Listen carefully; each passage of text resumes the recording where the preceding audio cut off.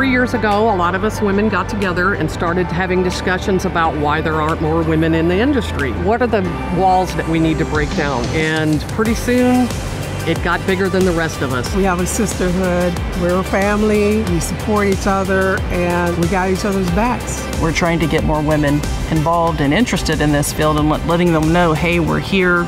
We did it. You can do it.